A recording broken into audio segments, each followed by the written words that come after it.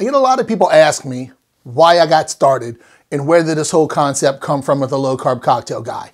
So I'll tell you a little bit about how I got started, why I got started, and why I continue still doing what I do. So this all started back in 2015 when my wife decided that she was gonna get on a low carb diet. She lost a ton of weight. I jumped on it and um, I off and on, off and on. Overall, I lost a lot of weight, picked it back up. I'm just bouncing all over the place. I do low carb when she's watching. Eh, let's be honest with it. All my recipes are low carb for her and her friends that are still doing low carb. Uh, my daughter also who's um, insulin resistant.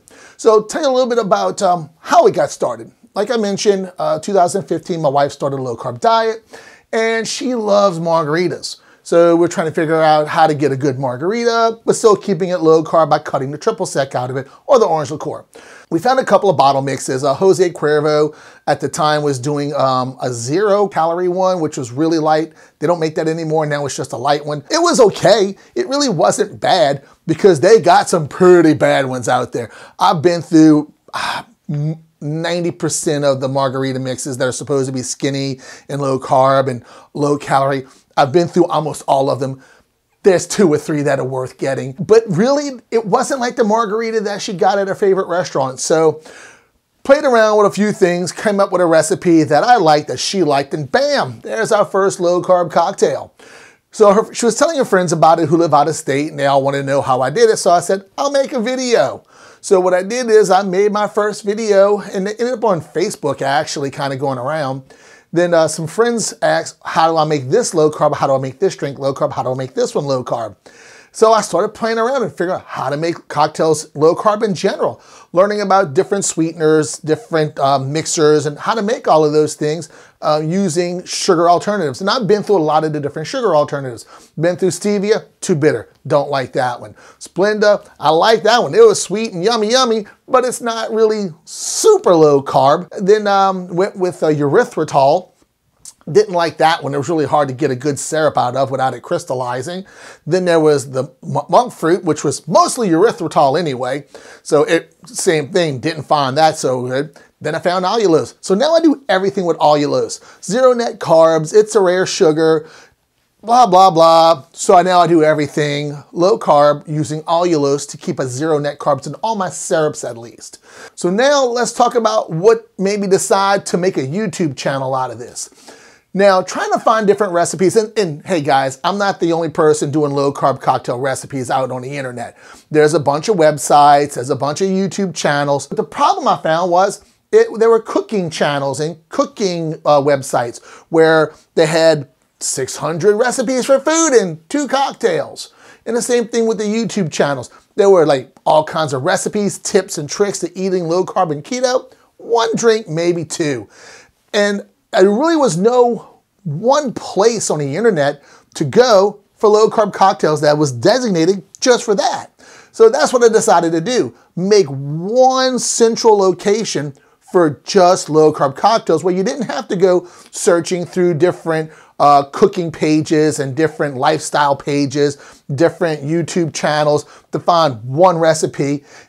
I decided to make one location, like I said, and just put all cocktail recipes here. Some of the recipes I've done or other people's recipes, and I've given them credit for it. Some of these are my own recipes, and some of these are just classic cocktail recipes that I tweak to make them low carb. Why I continue to do this, I was just kind of looking around the internet, you know, and I every day I'm looking for some inspiration to do another drink. And I keep finding, I come across it all the time, these cocktail recipes that are claiming that they're skinny and low carb.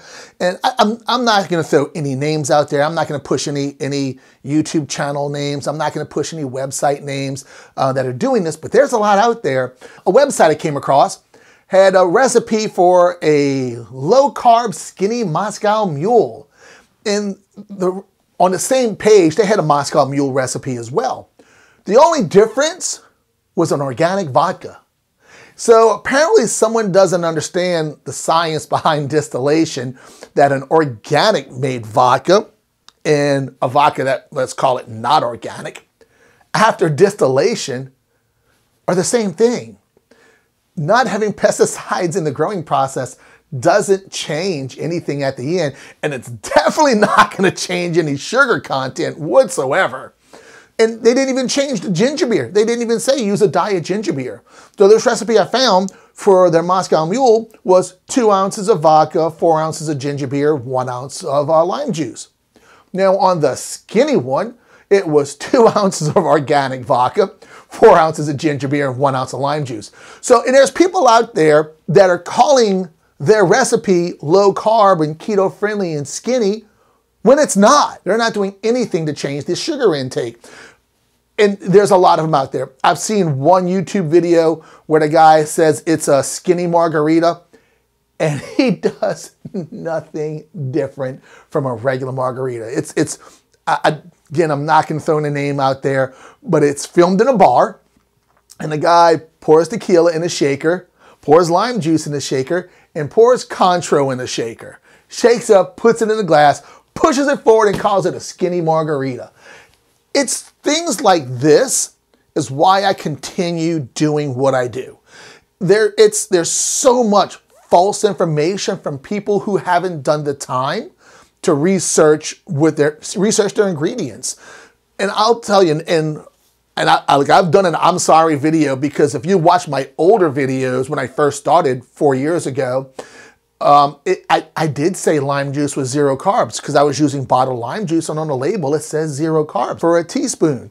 So I, it took me months. It took me uh, a very long time to finally get, actually it almost took me uh, two years to have somebody reach back out to me and contact me back.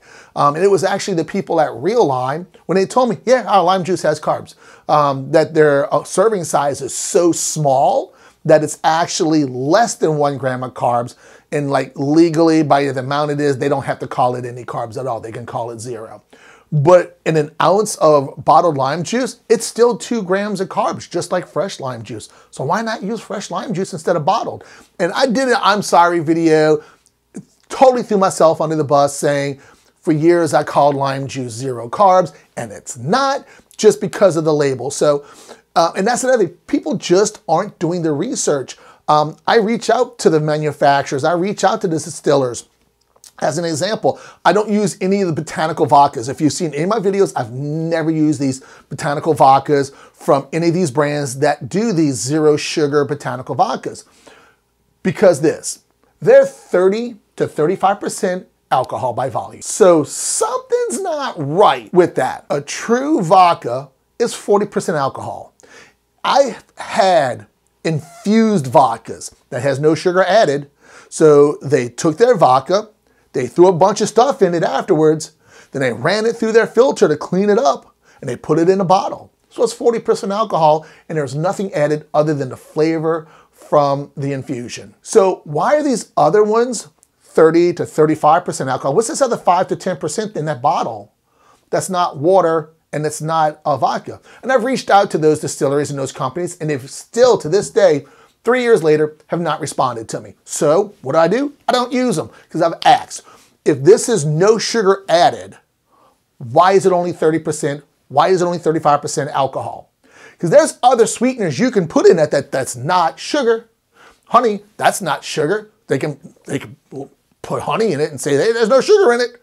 So why is it sweet? Eh, there's honey in it. I don't know. I'm not saying that there's honey in it by any way. I'm not saying at all because um, I don't know because they don't answer my questions.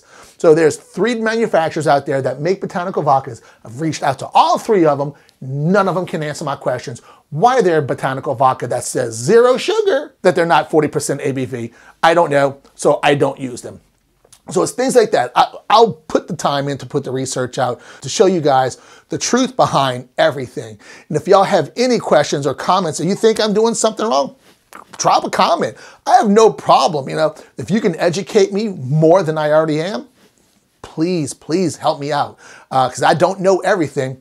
I know a lot, spent a lot of time researching this stuff before I jumped on the internet because I didn't want to be troll bait. And if you like my videos, make sure you click subscribe plus the little bell icon and that'll let you know every time I put a new video out. All right guys, see y'all later.